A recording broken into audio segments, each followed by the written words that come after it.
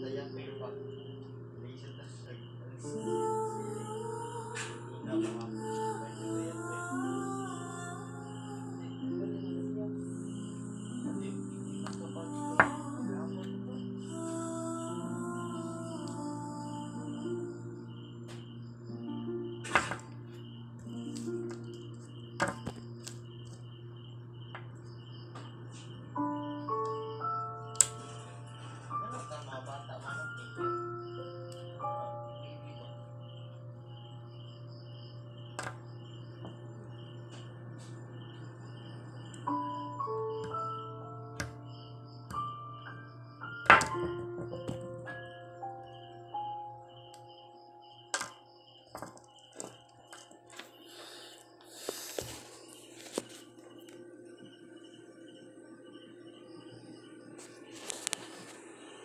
Naging maayos yung funeral ni Marco.